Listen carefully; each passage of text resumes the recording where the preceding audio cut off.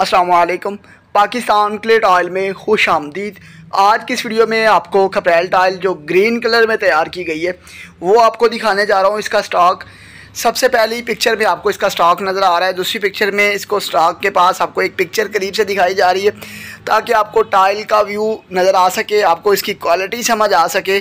हमारे पास खपैल टाइल में अदर कलर्स भी मौजूद हैं। ये कलर आपको जो नज़र आ रहा है, ये कभी ख़राब नहीं होता। इसकी लाइफ टाइम गारंटी है। ना ही इसके ऊपर आप अपनी मर्ज़ी का कोई पेंट करवा सकते हैं। जो कलर हम देंगे, वो उसी तरह बरकरार रहेगा, क्योंकि ये कलर नहीं है। इसके ऊपर हमने ग्लास लगाया है।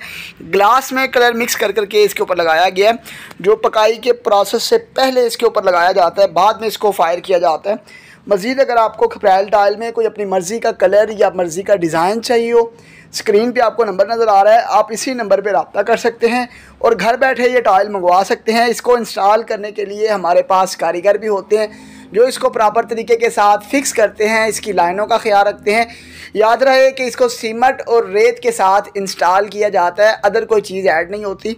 मज़ीद अगर आपको खपैल टाइल के बारे में जानना हो, आप दिए गए नंबर पर रबता कर सकते हैं और घर बैठे ये टाइल मंगवा सकते हैं। इस वक्त आपको जो टाइल दिखाई गई है, इसका साइज़ सात इंच चौड़ाई में है और ग्यारह इंच इसकी लेंथ है। एक स्क्वायर फिट में ये तीन टाइल जा रही हैं।